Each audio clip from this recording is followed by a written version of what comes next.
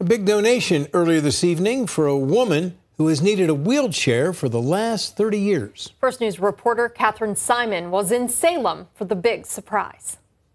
Elizabeth Shank has been trying to get a specialized off road wheelchair for 10 years. Today, that dream came true. It means the world. Of course, I'll cry.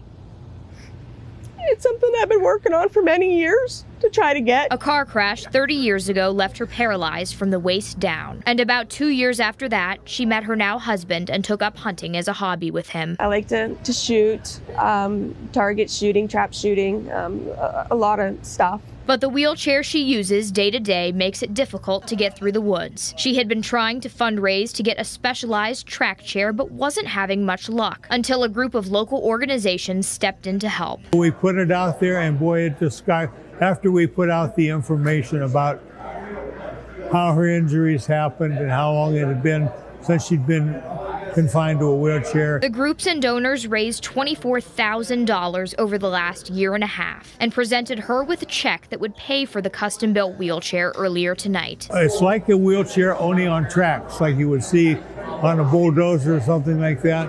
It can go up and down rough terrain. Little did Shank know the chair and a custom trailer to haul it were already waiting for her outside. I can get out into the woods more. I won't need as much help um, to get out into the woods. I'll need probably some, but I'm able to be more independent with this. For Shank, the new chair will help her do one of her favorite things spend time outside. And for the donors, Nelson says it was worth every penny. In Salem, Catherine Simon, WKBN 27 First News.